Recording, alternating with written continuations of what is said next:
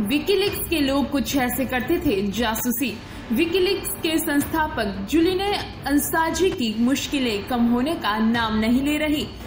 WikiLeaks के संस्थापक Julian असांजे को बड़ा झटका देते हुए एक ब्रिटिश अदालत ने अंसाजे की ओर से एक वारंट रद्द कराने की दूसरी अर्जी भी आज खारिज कर दी।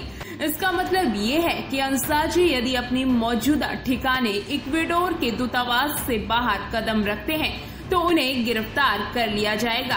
अंसाजी ने 2012 से ही इक्वेडोर के दूतावास में शरण ले रखी है। जज एमा अबर्टनॉट ने असांजे के वकीलों की इस दलील को खारिज कर दिया कि 2012 में जारी वारंट को बरकरार रखना अब जनहित में नहीं है।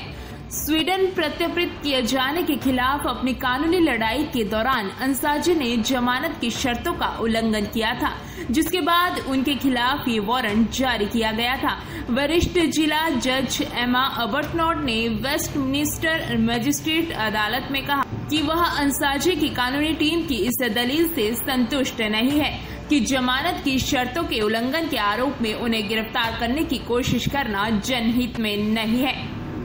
Bureau reports Summer 24 News.